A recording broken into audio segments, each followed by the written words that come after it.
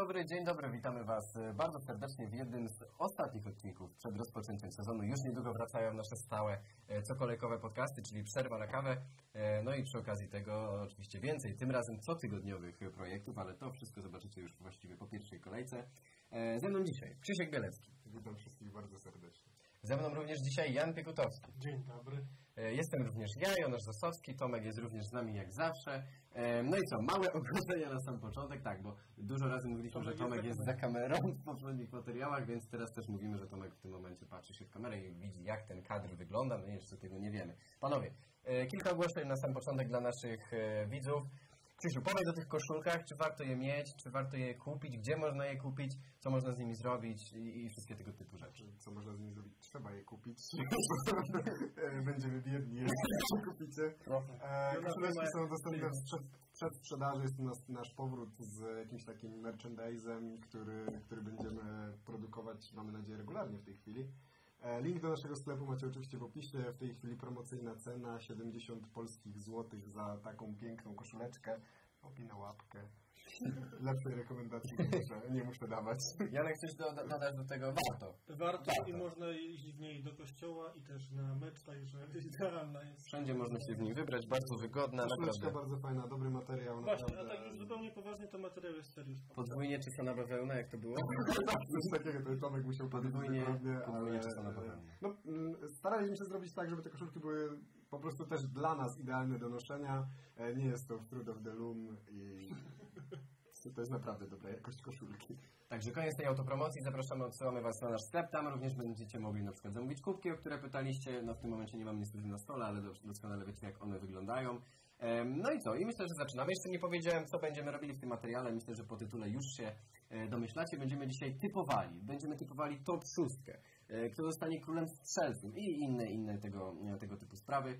E, Zaczynamy sobie od samego początku, czyli panowie, muszę Was zapytać, kto w tym sezonie e, zostanie mistrzem Anglii. My oczywiście będziemy rozliczani z tego na sam koniec sezonu, wrócimy sobie do tego materiału bardzo chętnie zresztą śmiać. i będziemy sobie to wszystko analizowali. Zaczynamy od mistrza Anglii. Panowie, kto mistrzem Anglii w sezonie 2020-2021 według Was? Manchester City mistrzem Anglii w sezonie 2020-2021. Ten jeden rok przerwy dla ekipy Guardioli to zdecydowanie wystarczająco e, i myślę, że oni wrócą z taką zdwojoną siłą, że faktycznie będą w stanie wygrać tę ligę w tym e, roku. Zwłaszcza, że Liverpool no, nie wzmacnia się na tyle, żeby móc realnie powalczyć o to mistrzostwo. W sensie to jest trochę dziwna sytuacja, bo Liverpool tak zdeklasował ligę w zeszłym sezonie, że teoretycznie moglibyśmy założyć, że nawet bez wzmocnień może zrobić to Mhm. kolejny raz, no bo dlaczego nie? Przecież e, nie minęło dużo czasu, to powinna być ta sama drużyna w dalszym ciągu. E, No ale właśnie to, że nie minęło dużo czasu działa też na ich niekorzyść, bo ten terminarz będzie bardzo napięty, e, nie było dużo czasu na regenerację. Tam klubowi po prostu potrzeba zmienników, a no, piłkarze z Akademii nie dają gwarancji takiej jakości, jaką powinni. Także wydaje mi się, że tutaj Manchester City zdecydowanie będzie faworytem i ja stawiam na nich w tym wyścigu. Panie Janie. Ja chciałem powtórzyć słowo, słowo po Krzyśku, ale nie zapamiętałem aż tylu trudnych więc po prostu powiem, że Manchester City wygra Mistrzostwo Anglii w tym sezonie i z dokładnie tych samych powodów to jest przede wszystkim mm, braku transferu Liverpoolu, który jest w tym momencie na rynku transferowym drużyną no, zachowującą się według mnie po prostu niepoważnie, bo brak wzmocnień jakichkolwiek tak naprawdę, no bo dobra, okej, lewy obrońca przed Olympiakos, ale on nie jest zupełnie sprawdzony na mm, poważnym poziomie. No to nie jest według mnie coś, co może zapewnić Liverpoolowi Jak ma na nazwisko? Y, Pan Cimkas.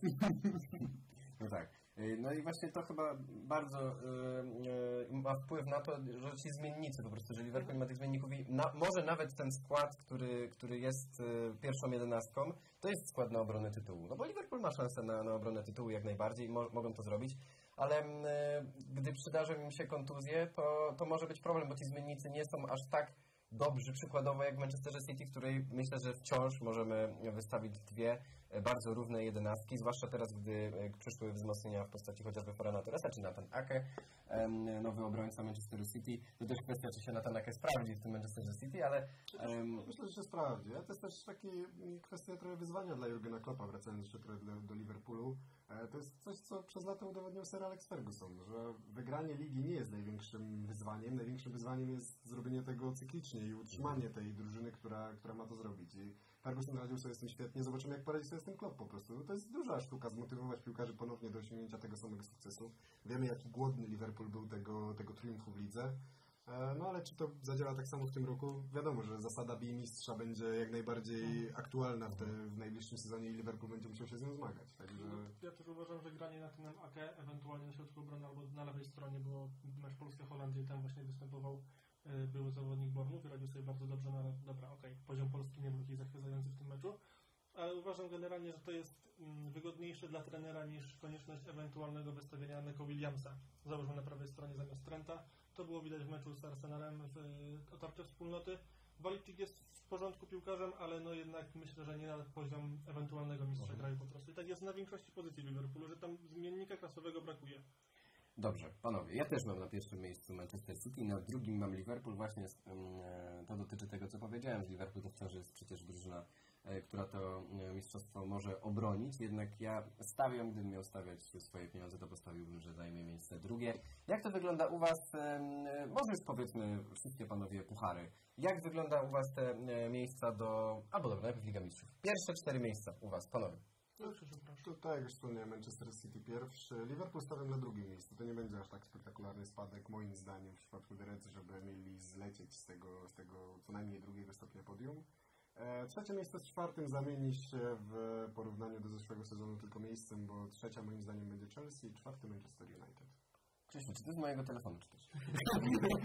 ja tylko dodam, że mam identycznie jak e, Krzysztof. Drugie miejsce Liverpool, trzecie miejsce Chelsea, bo nie wyobrażam sobie, jeśli Chelsea robi aż e, takie e, potężne transfery, jeżeli budują taką super drużynę, kupują jednego z lepszych napastników Bundesligi, jednego z lepszych ofensywnych napastników Bundesligi, fantastycznego skrzydłowego z Ligi Holenderskiej. Tak, dokładnie. To znowu nie musi zadziałać tylko na korzyść Franka Lamparda, bo Lams pokazał już, że potrafi zrobić coś z niczego, kiedy ma do dyspozycji zawodników nie do końca e, światowego formatu, nie do końca największe gwiazdy, e, a zobaczymy, jak poradzi sobie z układaniem gwiazd na boisku, bo to jest jednak też duże wyzwanie dla menedżera, więc e, Chelsea jednocześnie może zgarnąć w tym sezonie naprawdę wszystko, bo kadry mają na to, wydaje się, gotową ale z drugiej strony wiemy, że transfery i okienko transferowe i wprowadzanie tych transferów przede wszystkim w drużynie nie daje od razu gwarancji na wygranie ligi.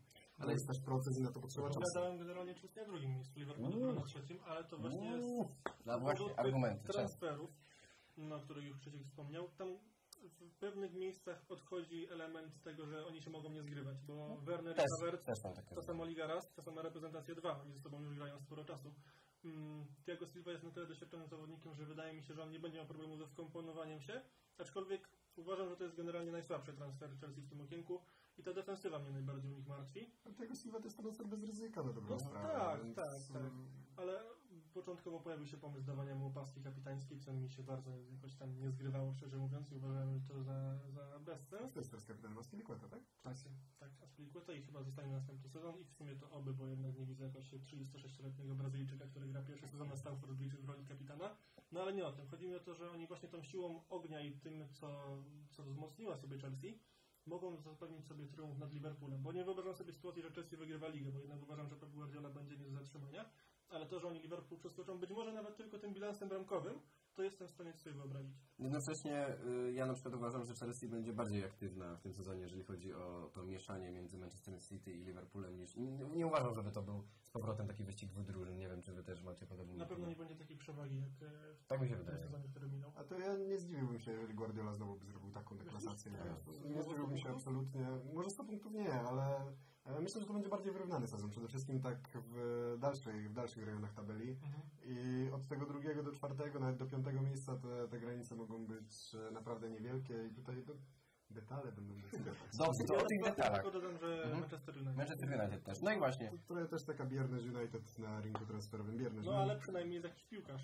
Jest, no jasne, jasne, ale e, tak. środek pola United zdecydowanie wymagał usprawnienia i uzupełnienia, ale nie wiem, czy Van de Beek jest e, piłkarzem, który, który miałby być takim, tą receptą na to. No, przydałby się piłkarz, który zastąpiłby trochę Maticza w tej drużynie, w tej drużynie e, przejąłby taką rolę, a jednak Holender nie jest tego, tego typu graczem. No nie, ale Holender jest piłkarzem, który ci ewentualnie zastąpi Bruno Fernandesza i ewentualnie Pola Pogba. No i wiadomo, i to jest, fajne, i to jest fajna, fajna opcja do rotacji, ale no, wciąż pozostaje prawie skrzydło, na którym no, mm. gra Mason Greenwood, Greenwood w tej chwili, więc no, jest to jakieś rozwiązanie.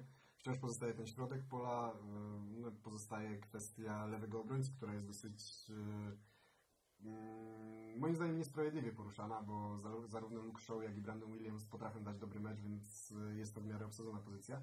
A United zrobiło też jeszcze jeden ważny transfer tego lata i ten transfer to jest Dean Henderson, o czym też, o, też tak. często zapominamy.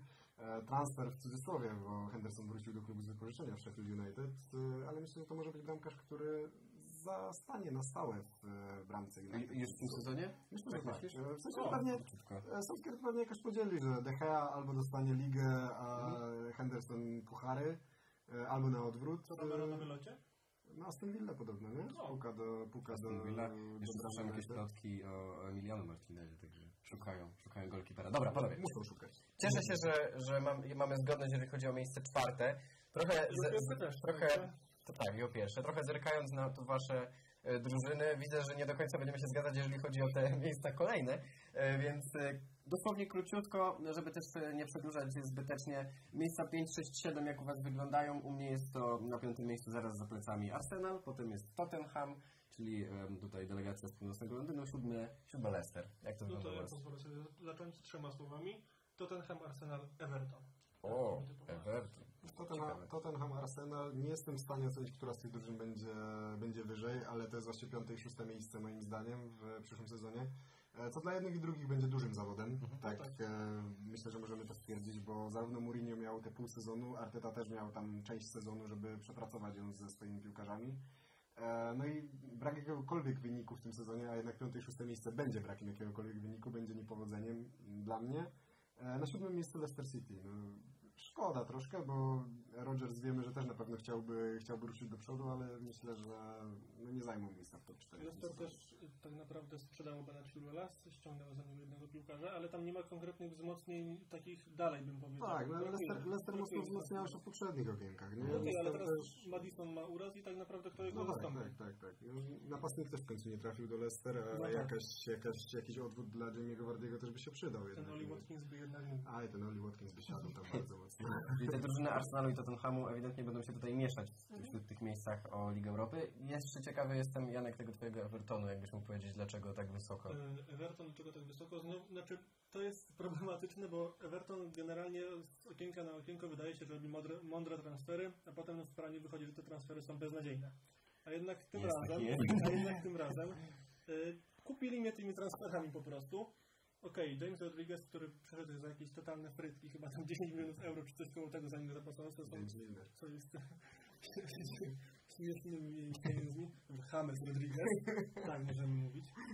E, on jest generalnie piłkarzem, wydaje mi się, jakkolwiek to zabrzmi, w stylu Pablo, Pablo Hernandeza. On na ten poziom Premier League może po prostu nie doskoczyć pod względem tempa, co już było widać w Realu Madryt. Pablo Hernandez ma 35 lat. No a James nie jest aż tak dużo młodszy od niego tak naprawdę i poziom poruszania się po boisku jest naprawdę podobny. Taki hitmapa nie, nie wygląda rewelacyjnie, ale nie o nim. E, Alan i Dokure, czyli zawodnicy konieczni tak naprawdę do układanki Carlo Ancelottiego Alan pod wodzą Włocha grał najlepszą piłkę w życiu. Tutaj się nie ma co za bardzo spierać, bo to właśnie był ten moment, kiedy on mówi do Manchesteru City za grube pieniądze, a nie przeszedł. Teraz znowu Everton go wyciągnął za znacznie mniejszą sumę.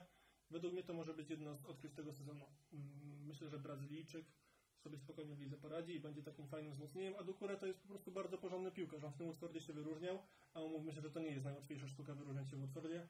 Mm, zasłużony powrót do Premier League i ja mam nadzieję, że Everton będzie po prostu grał lepiej w piłkę niż w poprzednim sezonie. Wiesz też, że... Ale też jeszcze do, odniosę się do waszego Leicester. Mhm. Ja to Leicester dałem na ósmym miejscu, więc to nie jest tak, że jest że oni, że, że oni wypadną. E, no dobrze, to panowie, skoro powiedzieliśmy o, począt, o początku tabeli, to powiedzmy także o końcu. Chciałem was spytać o pięć drużyn e, z samego dna tabeli, które będą zamieszane w walkę o utrzymanie. No i od razu, prawda, wytypujemy spadkowiczów, to będzie jakby w, jednym, w jednej waszej wypowiedzi, proszę. No, dla mnie dwóch Beniaminków na pewno. West Brom i Fulham mhm. definitywnie będą zamieszane w walkę o spadek. Tutaj wiem, że z Jankiem się nie zgodzę. Spodziewałem się, że Leeds United będzie u niego w strefie pucharowej. E, aczkolwiek, nie, no nie, aczkolwiek zapraszamy do naszego podcastu z Tomaszem Zielińskim, żeby e, poznać e, historię tej wypowiedzi. E, aczkolwiek e, mam wrażenie, że Leeds też będzie zamieszany w walkę o utrzymanie i nie do końca jestem przekonany, że ta walka o utrzymanie zakończy się pozytywnie. E, chociaż e, Pawie na pewno zrobiły e, ruchy transferowe, które mogą nam dawać trochę poczucie takie, że jednak myślą o tym, żeby się utrzymać w Premier League, nie tak jak wcześniej. E, oprócz tego West Ham United, mm, David Moyes, e, no nie, nie, po prostu nie. To nie jestem w stanie wyobrazić sobie West Hamu funkcjonującego dobrze. E, zwłaszcza, że widzimy, co dzieje się w klubie. Grady Diangana sprzedawany do West Bromu, jeden z większych talentów. Mark Noble, kapitan drużyny, krytykujący ten ruch. e, I Jack Wilshere chyba się jeszcze Tak, do tego. Wilson też. a nie widziałem, ale no Mark Noble, m, człowiek West Ham, e, krytykujący publicznie na Twitterze działania klubu, to jest e, duże wydarzenie, więc tam w kuluarach też z pewnością nie jest, nie jest kolorowo. E, także na pewno West Ham United. E, i chciałem dać Newcastle, ale te transfery Nie. są całkiem, całkiem sympatyczne i Steve Bruce powinien, powinien zrobić robotę. E, znowu chciałem dać Crystal Palace. Ale to też są mocne, mocne, fajne ruchy transferowe i tam moim jedynym minusem jest Roy Hodgson, który... No, Hodgson nie gwarantuje po prostu żadnej drogi w tą czy w tą stronę. Tak. Tak, gwarantuje stabilizację i, i nic więcej. E, więc e, cały czas zostaje piąta drużyna do wytypowania do tej walki o utrzymanie i z bólem serca myślę, że to będzie Brighton and Hove Albion i ten ich pozytywny styl znowu może ich zgubić e, i zaprowadzić do tej walki o utrzymanie. Ja na początku Brighton dawałem na, tak naprawdę w środku tabeli, ale to się dotyczyło momentu, kiedy oni nie sprzedali potem kilku piłkarzy i te transfery okazały się tak naprawdę być łataniem dziur, które nastąpiły w przyszłości. Ale jakby taką piątkę wytypować, to West Brom na pewno.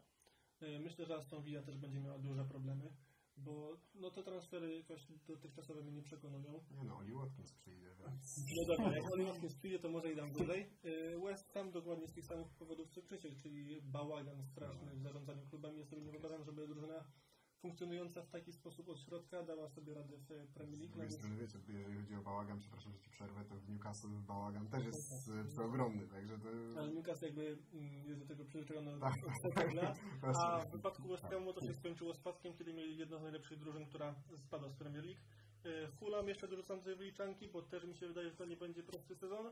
I Crystal Palace, ale to właśnie z powodu Ryan Hodgsona, chociaż uważam, że Crystal Palace z tej piątki wymienionej przeze mnie ma największe szanse, żeby się utrzymać. No ale z drugiej strony też wiesz, kiedyś Crystal Palace w końcu e, spać będzie musiało, jeżeli to tak dalej, jeżeli to tak dalej pójdzie. dalej. Ale to fajnie wygląda, nie? E, Ferguson trafił, młody piłkarz Eberechi Eze Eberechi Eze z, zwłaszcza. z Queen's Park Rangers. Wiesz, co, wiem, że dużo z osób mówi właśnie o Eze z Queen's Park Rangers, ale mnie ten Ferguson naprawdę kupuje, bo to chłopak w Championship był bardzo porządnym obrońcą i według mnie to może być jeden z odkryć, o ile go kon- kontuzje ominą, bo teraz wiadomo zmaga się z urazem. A wy o tym e, EZ tyle pisaliście, bo panowie o Championship śledzą, że ja po prostu już nie mogę doczekać, żeby go zobaczyć w Premier. No, chłopak jest naprawdę rewelacyjny. On pokazał, że e, potrafi grać na praktycznie każdej ofensywnej, nie tylko ofensywnej pozycji w środku pola, na skrzydle. E, Głównie to lewe skrzydło było obsadzane w dużej mierze. E, No, naturalny zmiennik Wilfrida, Wilfrida Zachy tak trochę w Crystal Palace, jeżeli, jeżeli Zacha faktycznie zdecyduje się na odejście, bo o tym odejściu cały czas słyszymy, ale trochę chyba nie ma chętnych na Zachę. Właśnie, ale nie ma chętnych na Zachę i ja proponowałem, żeby Iworejczyk go puścił Crystal Palace, ale jeżeli... Proponowałeś mu. Proponowałem, także...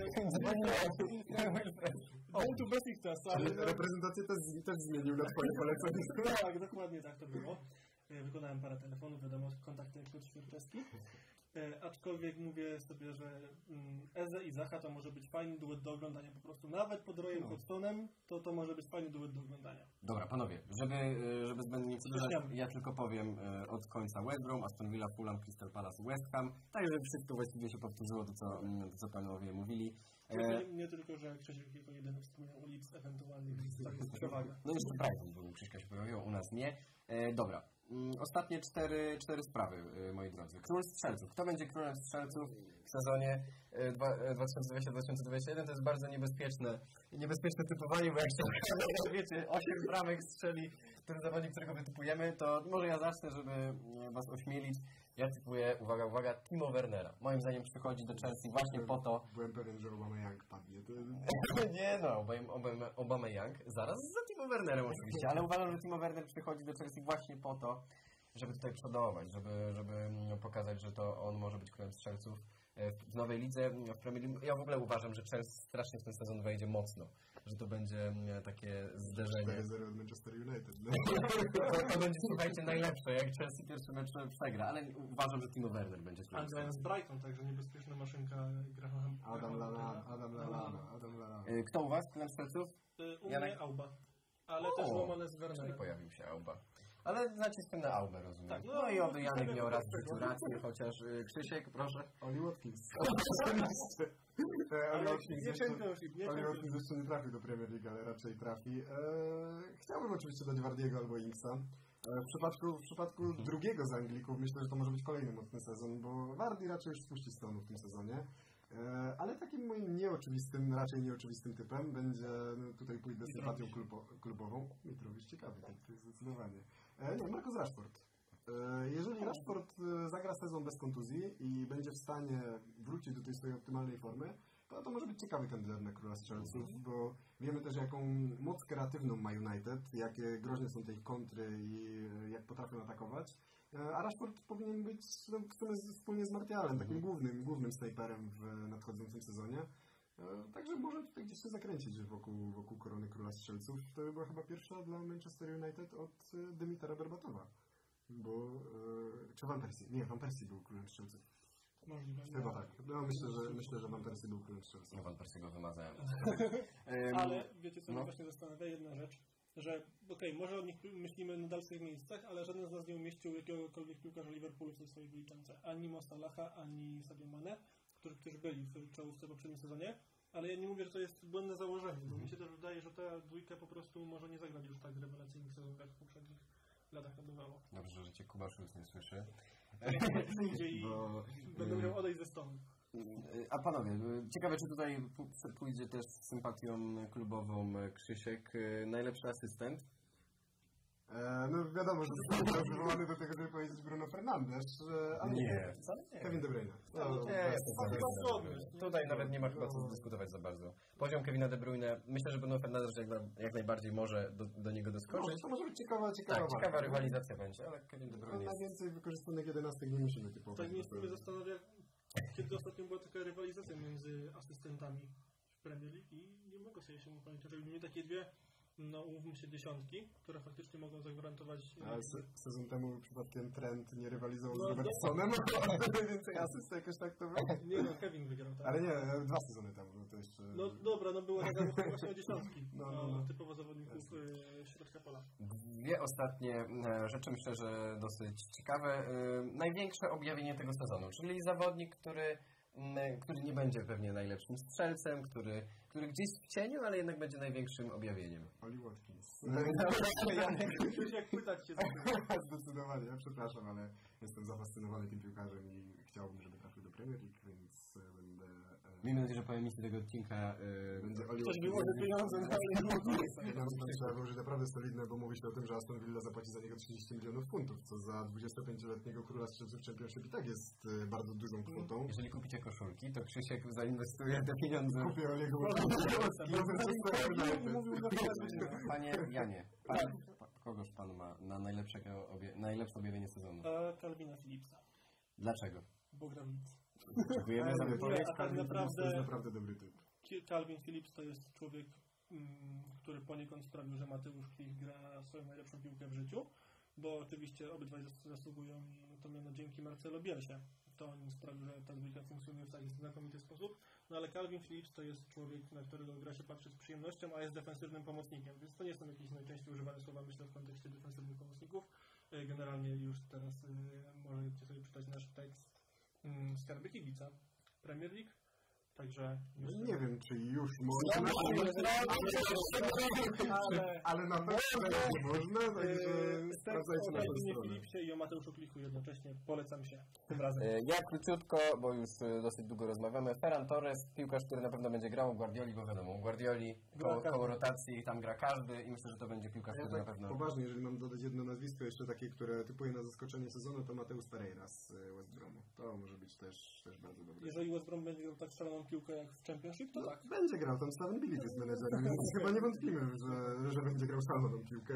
I panowie, ostatnia rzecz, e, myślę, że, że bardzo ciekawa, która też jest dosyć trudna do wytypowania tak naprawdę. Pierwszy trener, który zostanie zwolniony. No, może nie zwolniony, ale pierwszego trenera, który może odejść, to Hodgson zawsze tym pojawia się żeby...